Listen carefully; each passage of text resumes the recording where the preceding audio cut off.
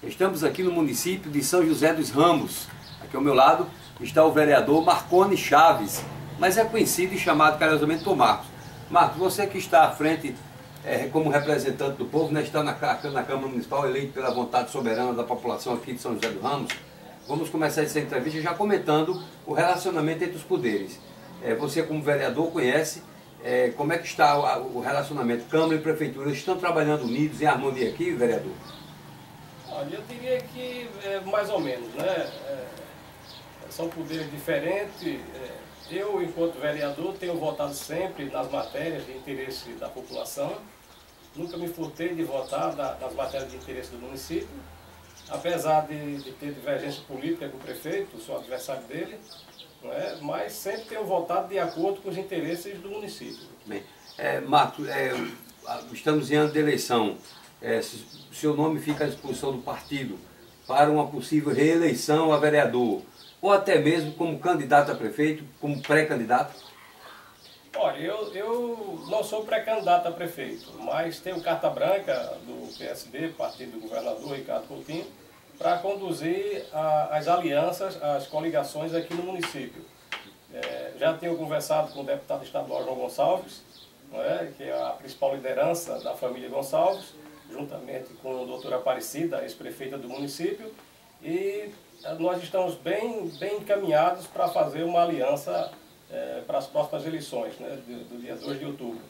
E o, o principal pré-requisito dessa aliança é o PSB fazer parte da majoritária, ou como, como vice-prefeito, ou, quiçá, como, como cabeça de chapa. É verdade? É, vereador, é, aproveitando o espaço da imprensa através do portal comunicação e você como correligionário do governador, qual seria a, a, a, renovação de pedido para que o governo do estado traga mais benefícios ainda aqui para o município? Olha, na verdade o governador Ricardo Coutinho, no seu mandato, tem trazido muitas benfeitorias para o nosso, nosso município, né?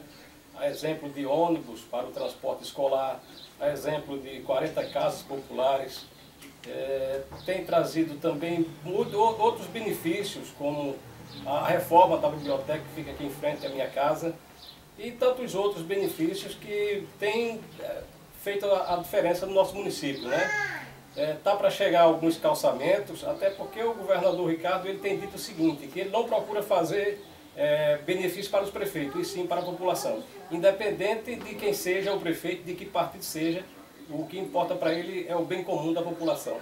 Muito bem, é, é, Marcos. Sua mensagem ao povo aqui de São José dos Ramos, apesar da crise que, né, que nós estamos atravessando, o país inteiro, mas a mensagem para um futuro melhor, um futuro mais promissor. É verdade, nosso município, um município pobre, é, recém-criado, né, tem apenas 20, 22 anos, mais ou menos, de emancipação, e que sobrevive, sobretudo, dos repasses do governo federal. Né? Nós não temos é, arrecadação própria aqui no, no, município, muito pouco. E o que eu desejo à, à, à população que tenha discernimento na escolha dos próximos gestores, na é verdade, que escolha pessoas que possam efetivamente estar presente aqui no dia a dia com as pessoas, até porque eu lamento é, é a ausência do prefeito, apesar de ser daqui filho do município, mas é um, uma pessoa muito ausente da cidade. Então, desejo que o próximo gestor, que o pessoal escolha pessoas com perfil é, mais, que seja mais centrado e mais focado nas questões do município e que possa administrar juntamente com o seu povo.